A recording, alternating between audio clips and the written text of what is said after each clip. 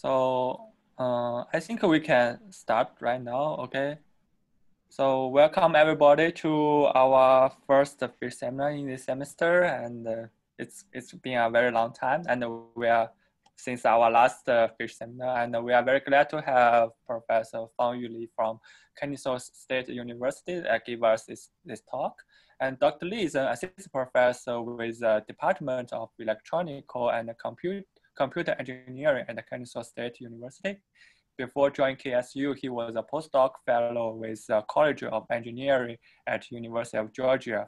And he received his PhD in geophysics from University of Oklahoma in 2017, and his master and bachelor degree were obtained from Tsinghua University and uh, Beihang University, respectively. His research interests uh, include seismic signal processing, subsurface imaging, quantitative interpretation, machine learning, distributed computing, Internet of Things, and uh, cyber physical system, a lot of things. And uh, Dr. Li is a recipient of the 2020 J. Clarence Karcher Award from the SEG, and uh, I have known him for a very long time, and uh, I'm very happy to have to, to he, he can accept my inv invitation. And I was say sorry to everybody, we don't have pizza this, this time. So if you can bring your own food, it's all very, it's all very welcome. Okay, so let, let's welcome um, Dr. Liz for today's talk. And his talk will be about distributed sensor networks based real-time and in situ subsurface imaging. Okay, it's your time, Fang Yu. Yeah, thank you. Zhang Zhidong for the introduction. And uh, my name is Fangyu Li. I'm a AP with the ECE department at the Kennesaw State University. Today, my talk will be related with my postdoc's works uh, when I was in the University of Georgia.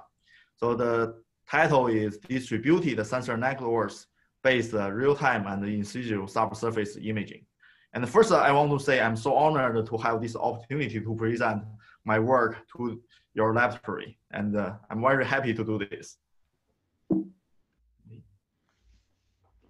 So this is the outline. I will briefly go through the motivation and the related works, and uh, I will focus on my work related with real-time and in situ subsurface imaging, and I will give a, a short conclusion, and that will be my talk. So the real-time in situ subsurface imaging, I also call it RISI for short. So this uh, methodology, all we can think about this is approach is based on the distributed sensor networks. Distributed sensor networks inherently it has the ability to do the real-time and the in situ computing. We think about this is a mesh network. This mesh network can do the sensing, can do the computing, can do the communication based on the distributed sensor networks. And in that way, we can do the real-time imaging and we can do the time-lapse monitoring. So we can do a lot of things to characterize the subsurface structure and the dynamics. And uh, why can we do that? Because we think about we have the computer, uh, sorry, computing and the communication unit in the node. So we call it the intelligent nodes. So those intelligent nodes can record and process the seismic streaming data in the real time. And they can communicate with each other using wireless and even wired. So we can build a mesh network and we can build infrastructure network. We can do our application for the online, sorry, onshore and offshore. Even we can do some planetary exploration projects. And then those nodes can be used to uh, collaboratively calculate the 2D, 3D, even 4D subsurface images. And why we are doing this, the motivation is here. So consider about the relations between the data, the computation, and the communications. So now is the era of the big data. So nowadays we, we know there's too many different types of sensors, you know, the data grow exponentially. So there will be more and more data. And uh, for the storage and the computation, typically we double the storage and the double the computation in 18 months. And uh, but when we come to come to the communication part, the bandwidth, the bandwidth is always a bot bottleneck for uh, our computing tasks. It is limited by the spectrum. even now we have the 5G, 5G may be available in the near future, but for the geophysics applications, I don't see the 5G will be available for us soon. So in situ computing is necessary in the inter, in the IoT, the Internet of Things. So typically we can call it fog computing or edge computing. So with this uh, diagram shifting approach, what we can do is like we're trying to deal with the big data computing in the distributed networks. So previously we need to collect the data and uh, transfer, tra transmit the data into a computing center and uh, ask the uh, supercomputers to do the calculation, to do the task. That would be slow and uh, expensive. But in the when we use the distributed networks, we do we can do the in situ computing. So that can be real time and efficient. So I will show some related works about this part. Compared with the existing systems, there are a lot of advantage of the distributed real-time in situ computing. So for the existing system, typically the stations are fixed. And then as I mentioned, you know, the data need to transmit it to and uh, processed at a central location. And then for the system deployment and the maintenance and the, support cost that can be very high. And then the last one is like, uh, you know, the, they delay the, delivery of the final images with the updated velocity model. So kind of the, uh, the velocity model updates is kind of very slow. But for our system, the RISI system, first thing is kind of flexible we can use wireless self-organizing seismic network. And then we can get the smart in situ and real-time seismic data. And uh, it is low cost and a long-term kind of deployment. And the last thing is like we can get a timely imaging results that can be used for imaging the subsurface dynamics. So these are the advantages of the our RISI system. Now I want to talk about some related works because this work has been done during my postdocs at the UGA. Before I joined the UGA, my uh, supervisor, Dr. Wenzhan Song, he did some uh, previous work. So between 2007 and 2009, when Dr. Song was with the Washington State University, they got a, a project funded with the NASA JPL. So with NASA, they managed to develop this called the space in situ sensor. So this kind of using the helicopters to airdrop those seismic sensors on a volcano. This is the kind of the total uh, sensors they developed at the time. At that time, you can see uh, their edge detector, their antenna, GPS, uh, and this is the communication uh, a computing unit, and uh, they're also the seismic uh, sensor. So they use this uh, uh, kind of unit and uh, use based on the helicopter to deploy this on the volcano areas. And later also got another round from the NSF. This called the volcano SRI, the volcano seismic real-time imaging. So they can deploy these uh, sensors on a volcano area and image the lava, the lava structure. So in that way, they can modify whether there would be kind of uh, uh, volcano eruptions, and then they deployed all the sensors around this volcano, so they can do the real-time imaging at that time. And the, the methodology they did uh, in that time, it, it is typically a travel time tomography. Uh, they have the processing stage and the computing stage. In the processing stage, uh, pre-processing uh, filters are used, uh, and then they develop the uh, ST, STA, LTA based uh, arrival picking method, and then they located the uh, event uh, locations, and based on the ray tracing methodology, they can do the tomographic inversion, and based on the to tomography, they can image the whole volcano areas. And these are the related works. And based on the related works, uh, during my postdocs, I have been actively working on the real-time and in situ subsurface imaging. So we uh, have achieved a new uh, process in two aspects. The first one is the hardware. So we develop a new hardware. And in the terms of software, uh, besides the tomography, we have developed the uh, ambient noise imaging, subsurface, uh, subsurface imaging based on SPAC, and we also developed the microseismic event localization method. Okay, so during that time, uh, that uh, project was funded by NSF.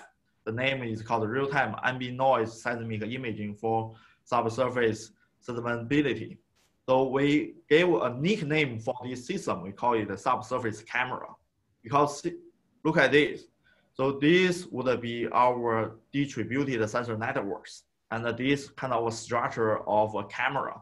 We can take the real-time and the in situ image and pass the image following the sensing, processing, computing, and control. So this very looks like a camera and uh, we can get a very high efficient uh, imaging results.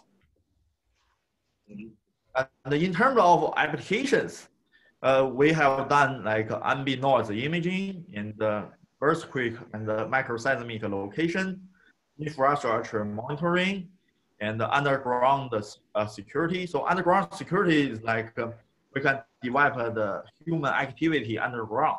So we can track where that happens so that can be used for uh, kind of security purpose. And uh, our system can also be deployed on Mars and do the planetary exploration. We have some collaborations with the NASA JPL. And the first part, I want to briefly talk about uh, our hardware. So this is a prototype system. So here, previously, remember uh, that uh, kind of uh, unit was quite large, very heavy. You cannot easily deploy it.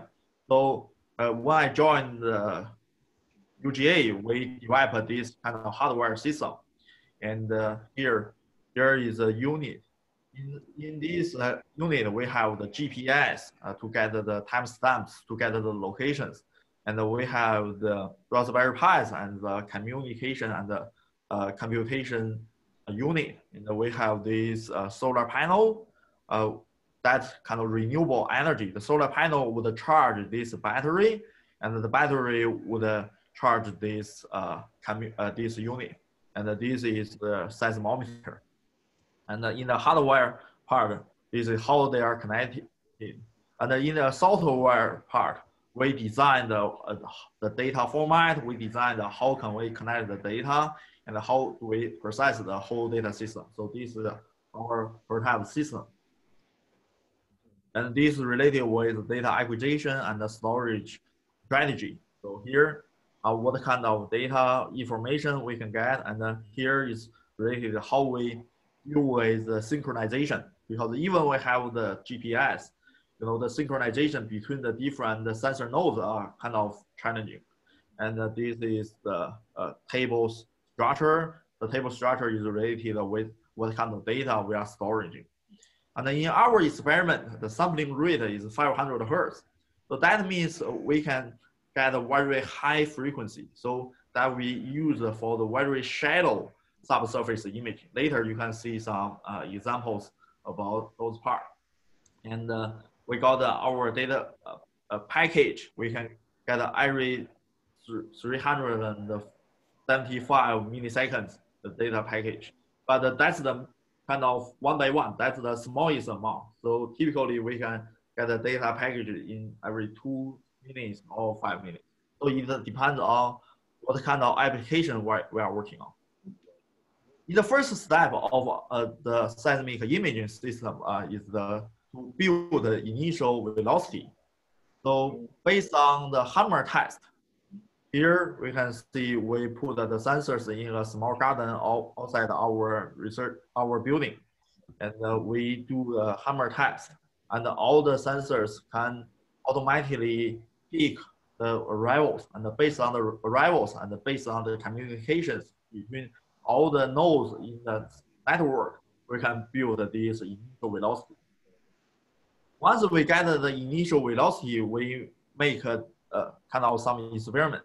So we simulated some uh, earthquake events in the uh, kind of in our UGA campus.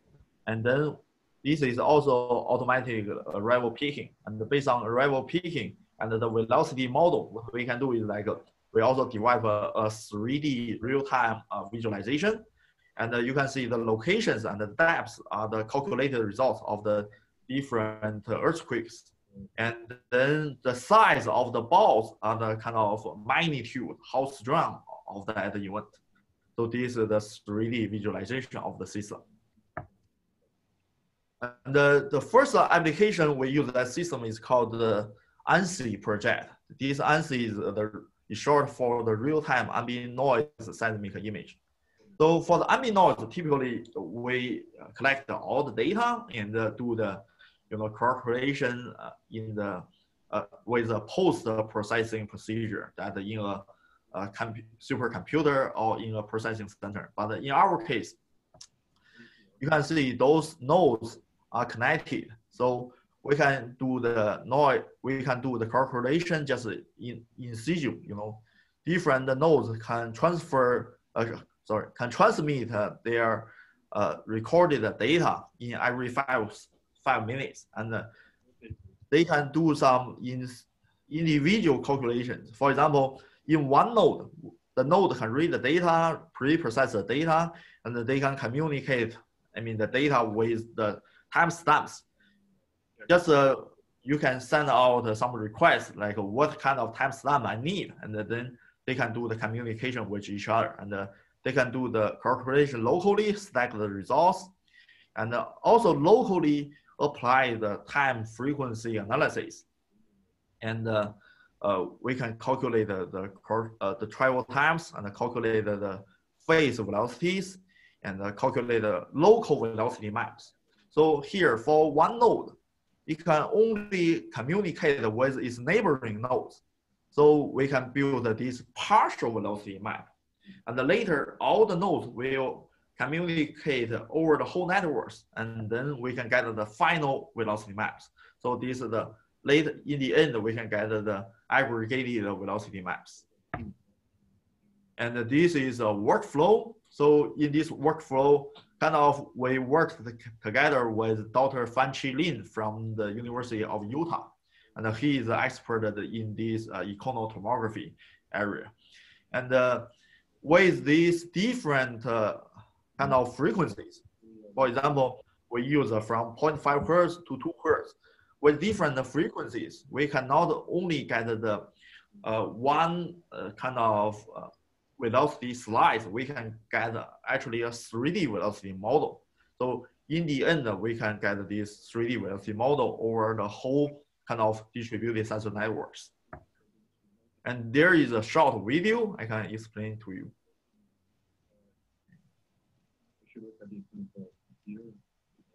Okay, this is related with our project. So first thing, you can see we can transfer all the data to a cloud center. So this with all the embedded system, each one you can think about as a node. And this is a simulation result. Those uh, green curves, they are the transmissions, they are the communication paths. So with this communication, every two minutes, we can generate this velocity map. And uh, we can also integrate this uh, Google Map with our velocity model. Can, we can project this velocity map on the Google Map in the real time to see the result. And later, we did some experiment in the UGA campus.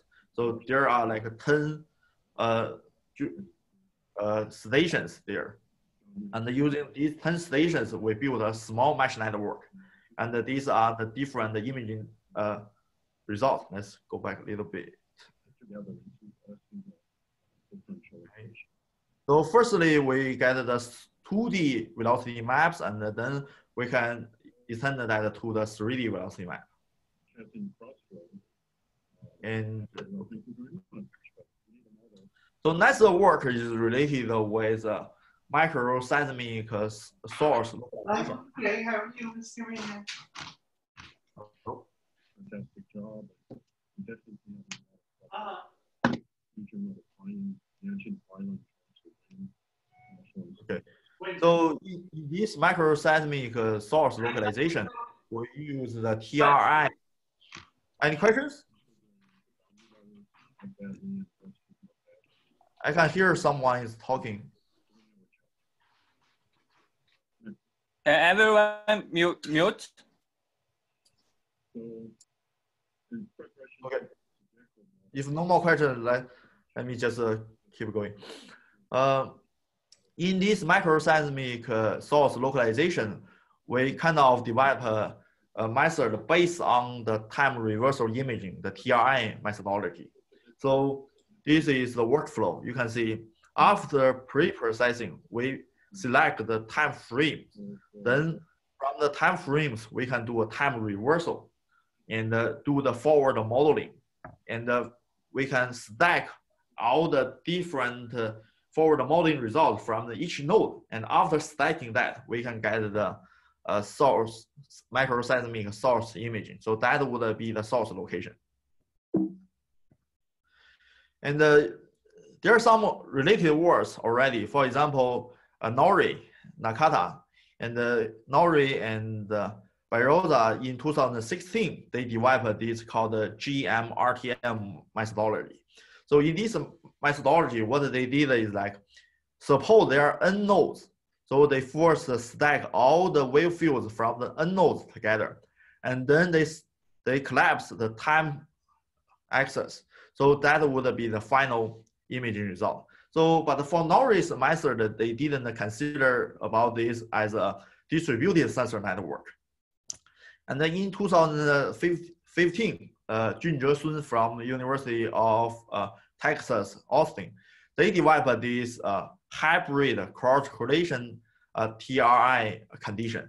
So they considered the, distributed sensor networks. So what they did is like they first divided the whole N sensors into the K clusters, and each K clusters would have the M receivers. So you can see they first do the uh, this multiplication of the wave fields in the small clusters, and then they do the correlation in the the whole sensor networks, the all the N sensor networks, and then in the last step they do the uh, time collapse. So that would be the imaging condition from the Sun 2015.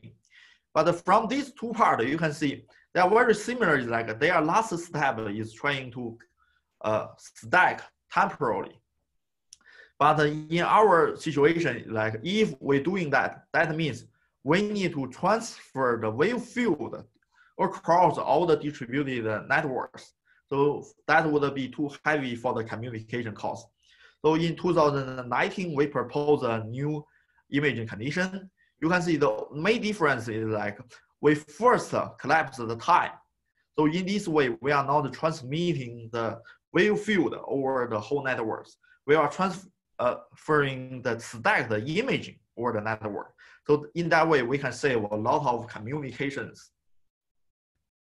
And these are the uh, the simulation results. So uh, Fang I have a questions. Okay, no problem. So, so previous previous uh, slide. So yeah. you you you switch uh, the sum of k and the sum of t. Yeah. Compared to to the so mathematically are they the same or not? No. Okay. So if you are in a supercomputer, it's the same, right? But uh -huh. we are doing the uh, distributed network. So for each node, it only has its own data. So uh -huh. that's the difference. So here, if you want to transfer this, you need to transfer, you know, the the 4D, the time lapse, because that would be the whole wave field with the three dimension and the time t, right? So you need to uh -huh. transfer that 4D data over the whole networks. You need to switch this information.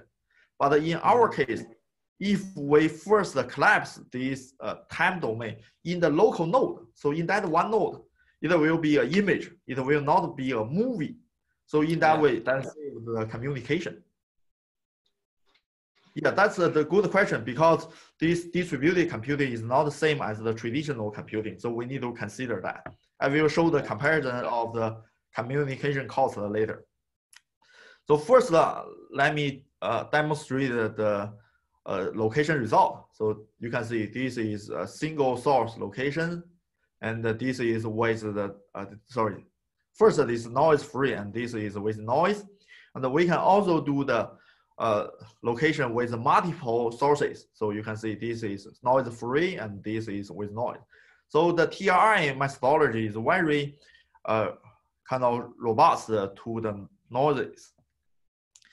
And then later in uh, 2019, actually, uh, a year ago, I think about, okay, when you do the stacking, actually you need to image, for example, this is the wave field from node one, this is wave field from node two, wave field node three, wave field from node four. So you need to calculate all the wave fields.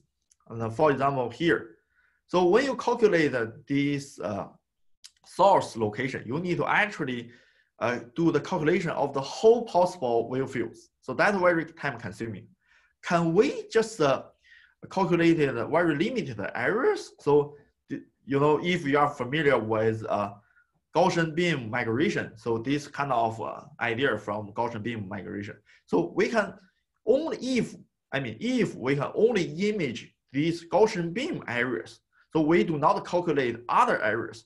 So that will be much easier for us to do the calculation. Uh, so that would be uh, the way to improve the computation efficiency, right?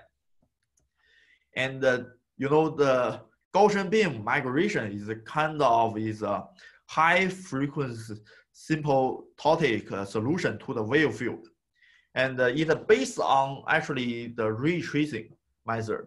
So when we have the ray center we can build this Gaussian beam around this wave, uh, this ray center and calculate this wave field, sorry, wave field within this Gaussian beam. But this is still, I mean, uh, very heavy in terms of calculation, although it's already uh, lighter in lighter than the previous one, because you need to do the coordinates uh, transmission and uh, you need to do the ray tracing to get the correct uh, the ray centers. Can we do another way? So I propose a method is called the simplified Gaussian beam uh, time reversal imaging. So without calculating the ray tracing, I, I do a trick here. So I just do a beam forming. So with this beam forming, maybe I do not have the accurate these ray curves, but we can you know, give a large area, broad area that uh, to build this uh, Gaussian beam. So based on this beam, uh, beam, beam forming, we can also calculate the uh, this uh, microseismic source location. So compared with the traditional part, we only calculate these small areas that would be the wave fields we need to calculate. So we improve the computation and because we are transferring what we are transmitting very small amount of data. So we also improve the communication. So here I'm showing an example. In the traditional TRI method, you need to calculate this whole wave field. But in our new proposed method, we only need to calculate this area. Yeah, so it's like a beam. So just we calculate this beam. And compared with other methodologies, so in terms of communication, in terms of computation, we have saved a lot of, you know, uh, communication and computation, improved efficiency. And uh, these are some results.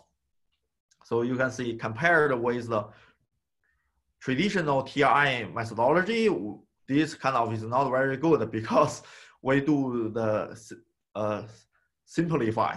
So because we do the simplify, the results is not very good, but we can still see like where is the source location, right? And we also consider the different uh, signals to noise ratio. You can see 10 dB, 0 dB, negative 10 dB, negative 20 dB, and uh, our result kind of very stable. And then later, uh, we ask ourselves, when we got the distributed uh, time reverse imaging result, can we improve that the uh, kind of resolution or can we improve the accuracy of the location result? So we propose a methodology is called the least squares uh, TRI. So in this methodology, we kind of do a least squares uh, inversion to improve that uh, location accuracy. And uh, these are the results. So here is the distributed uh, location results. You can see this quite a broad area, so you cannot actually know where is the the location. And uh, here you try to improve the result, and then this is the least square TRI result. So we kind of significantly improve the location accuracy. And this for the single event, and this is for the multiple events. You can see there. And besides the simulation result, we also did some tests in the field result. So this is from IRIS uh, uh, data that deployed in 2016 in uh, Oklahoma. And using our result, you can see uh, we got a very similar location uh, location result with the OG, OGS and another kind of uh, author. So, but you need to uh, be, you need to be notice that uh, in our data we only use a 2D time.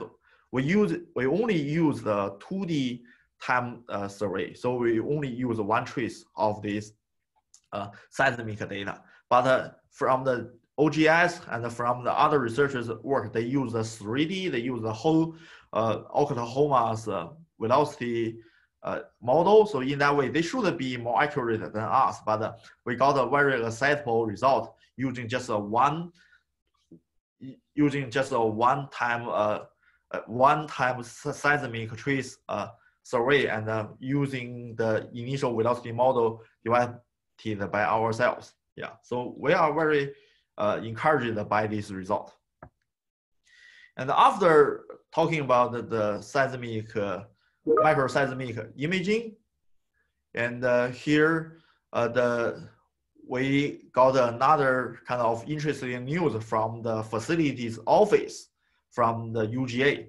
You know, when the UGA folk, folks, they know our methodology, they are asking us like, can you do some uh, kind of time lapse monitoring? I mean, can you imagine the water leakage from the pipelines? So that's quite an interesting uh, problem because the water leakages from a pipeline can cause uh, shallow velocity variations, right? So this can be imaged by our system. And uh, we use the, the subsurface, uh, uh, subsurface, sorry, we use the surface wave imaging methodologies. In this way, we take advantage of the Rayleigh waves. And uh, here, as I talked about, we uh, develop our method based on the Aki's uh, work. It's called the spatial autocorrelation, SPAC.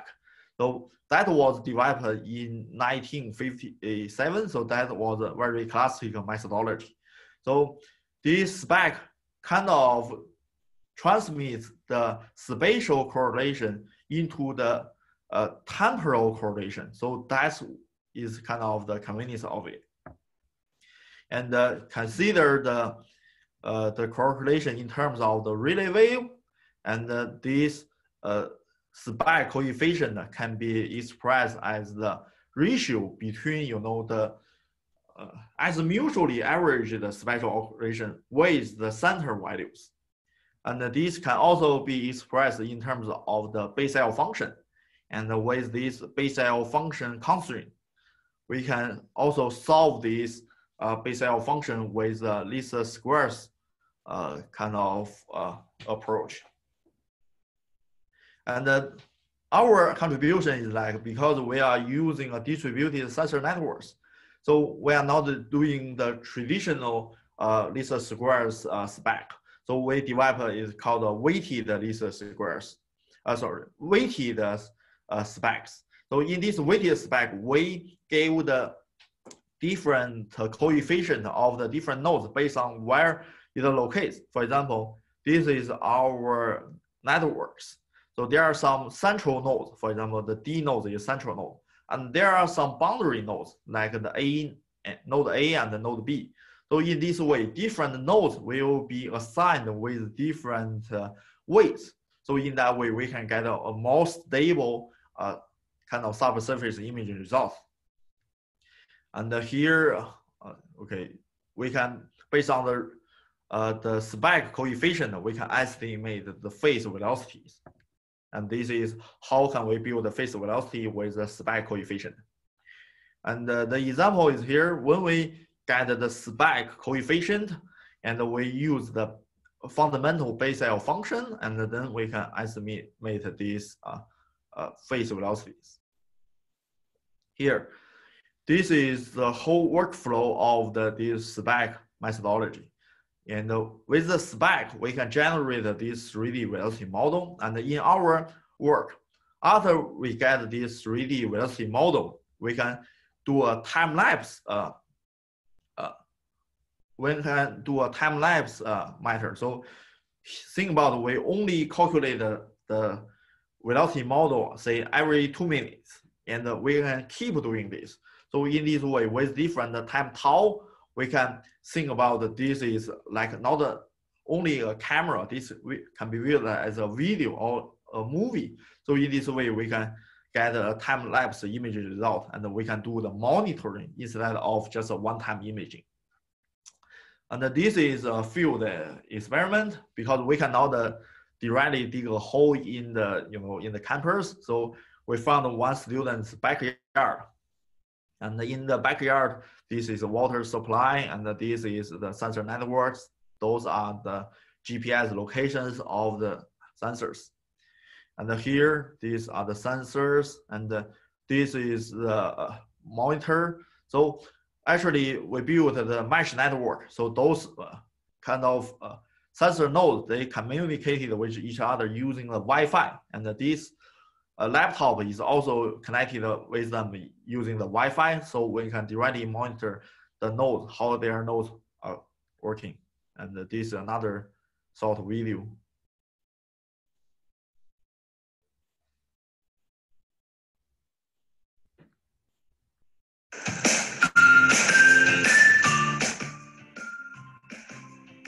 So there are some labor work we need to do. We need to dig a hole and uh, drill, you know, on the pipes to let the pipe to leak some water.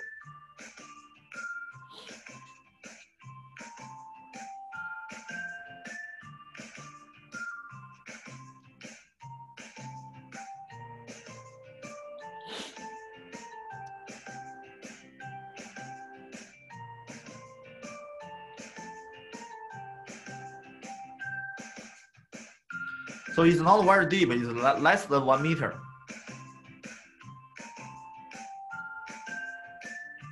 And then we set up the sensor networks.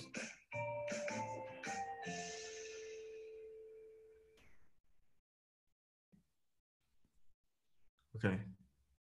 And based on the sensor networks, we can imaging the velocity changing because this is like a, a three or four hours data.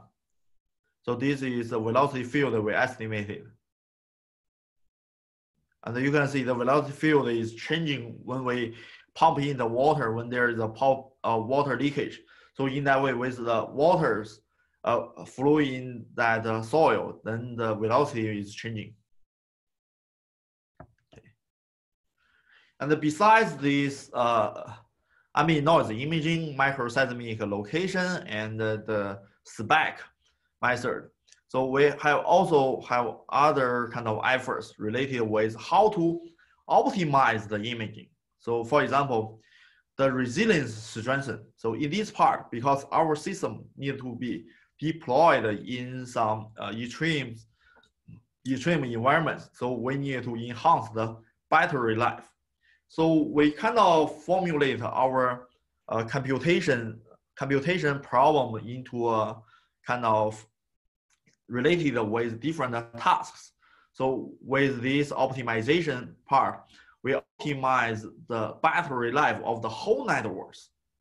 So with this uh, kind of optimal data, sorry, with this optimal data task distribution, ODTD method, we can improve the battery lives. For example, with this method, the batteries all survive. without this method, then some battery would be died before others. So that would cause like the whole network will fail. And these are some tables related with, with this uh, kind of our method. Most of the time, most of the uh, nodes will be survive. And uh, these are the real kind of uh, applications. We put all the sensors on the uh, on the roof of our, of our building. You can see maybe there can be some snow, there can be some shadows, there can be you know a lot of different things would happen in the real applications. And uh, this is the kind of our battery levels of the different nodes of different four nodes.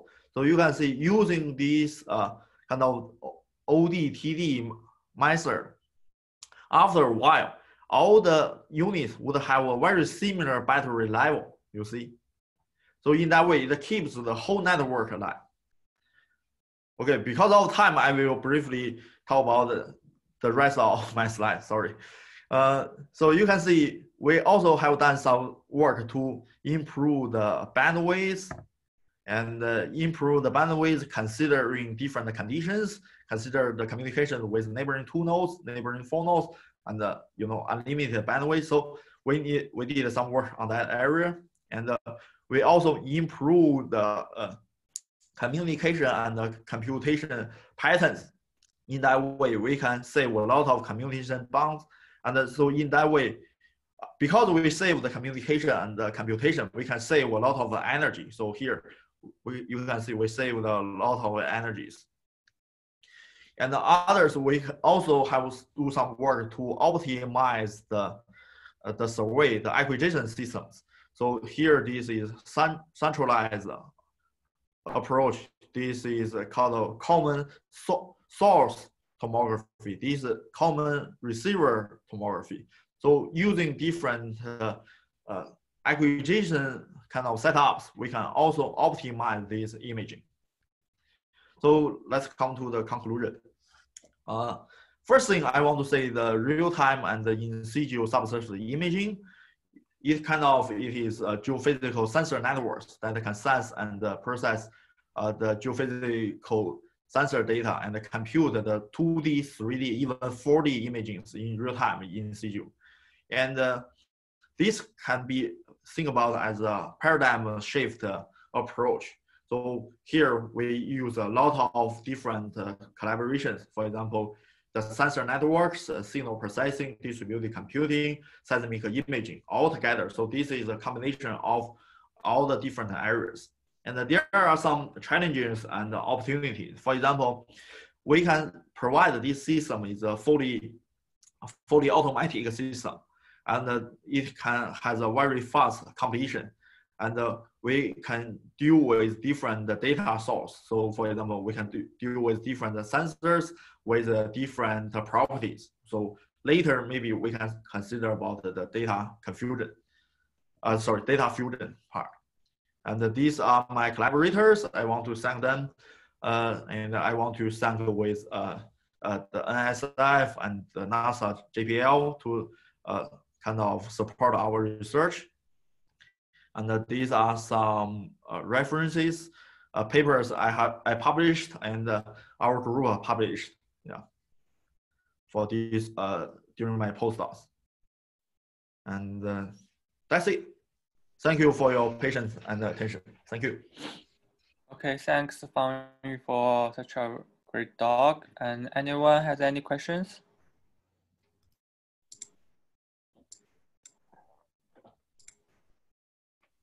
If you have any question, you can just unmute and uh, ask. Yeah. Uh, Hong Jian. Yeah, yeah. Can you hear me okay?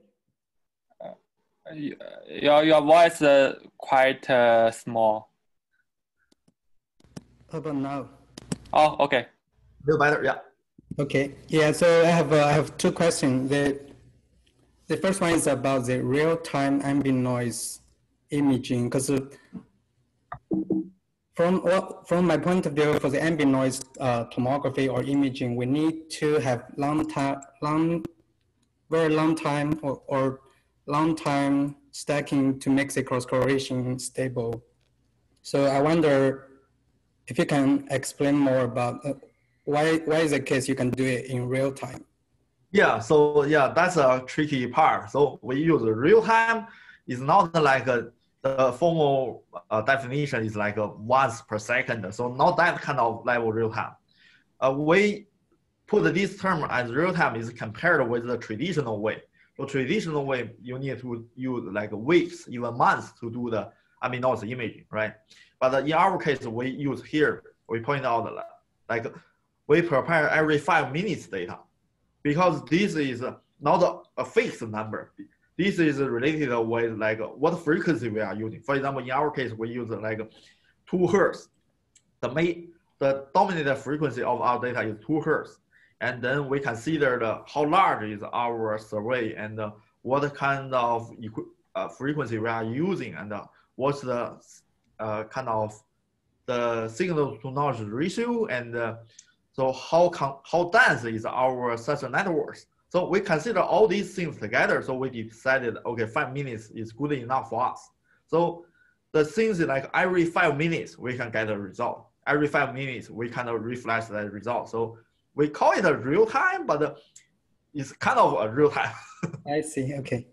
Yeah. Yes. Seems to me. Okay. My, my second question is about the, the location, the event location using this RTM technique. You mentioned uh-huh. you're using just one trace. So I, I wonder how is that possible? Because you can you have three or four unknowns, but how can you do it with only one trace? Oh, sorry, that's a mistake. What I talk about is like we only have a 2D, oh, it's called 1D or 2D, I'm not sure. It should be a 2D uh, seismic uh, line, right? So we only have the that data in the IRIS uh, website, I that's the only data we downloaded. You're asking about this part, right? The, the one in Oklahoma you mentioned. Yes, yes. So this is from the IRIS data set. So what I have is like we only have this 2D seismic data. It's from the 1D seismic trees.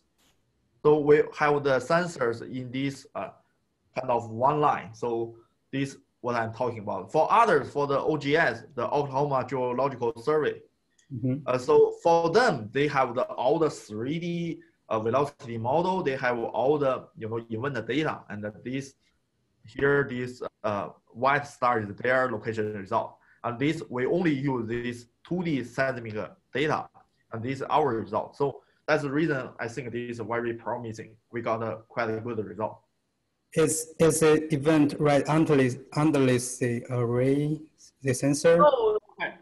It's not directly under array. It's uh, it's like think about this is the array. So the event kind of has like a 10 kilo kilometers away from that uh, that uh, kind of survey, but uh, it's pretty nice already. Yeah, we consider the, the the difference about that.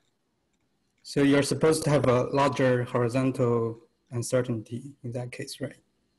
Uh, yes, a little bit, yeah. Okay, thanks. Yeah, you're welcome.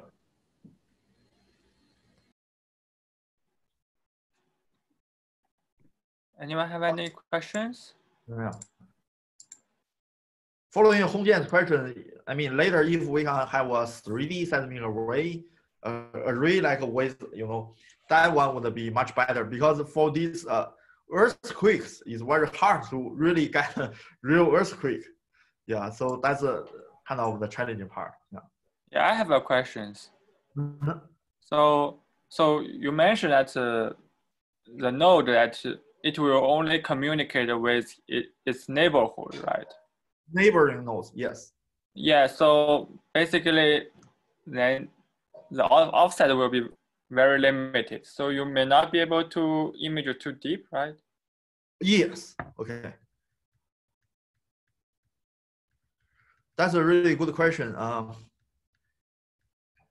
here, so as you you can see, typically, for example, this is the source location, and this would be the neighborhood, right? So in that way, we cannot have a very large offset.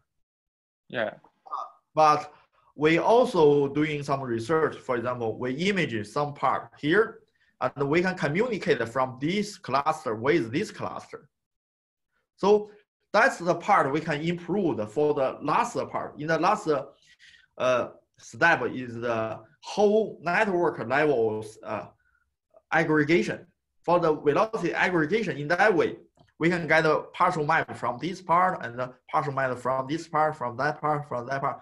So in the final aggregation, we can improve a little bit of that, uh, you know, the because missing the offset uh, issue. But uh, yes, so generally we cannot say this is as good as the centralized version in terms of the data quality, but we have advantages with like efficiency, with the easy to deploy. I mean, so that we have other advantages and our imaging, final imaging result is kind of accessible result. So there is a kind of trade-off. Yeah. So, so the reason that you only communicate between the neighbors is yeah. because if it's too too long, too far away, that the communication time will be unacceptable. Yes, that that's the main reason for the communication. For example, in our small area applications, we can use the Wi-Fi, but uh, Wi-Fi, if you're larger than 20 or 30 meters, then the Wi-Fi will not be stable, right? So in yeah. our case, the radius, the radius can be like uh, one, one to two miles away. But if you hmm. are too far away, then the radius will not be stable. When you transmit the data, for example, you transmit like five minutes data, you're gonna yeah. have a lot of interrupts. You're gonna lose the data. You're gonna lose the package during the transmission. So the main reason, yes, you are right. So using the neighboring point, uh, neighboring nodes is because of the communications. And uh, with these communications constraint, we can only use the neighboring. Yes. So and another question for each node, actually the, the computational capability will not be too big, right? No, no. But uh, you can think about your iPhone. Your iPhone is your cell phone is getting more and more powerful nowadays. Yeah, yeah. Rather cheaper.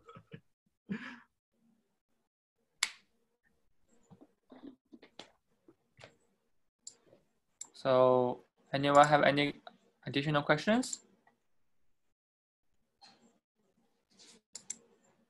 Uh, if there's no questions, uh, I will thank Li again and uh, thanks well, thanks again for giving us such a good talk. So if you have any question, I think you can message Fangyu in the Discord, right? You will in you will be online for another maybe several minutes. yeah, I will be online. Stay online yeah. for. Yeah, if you have any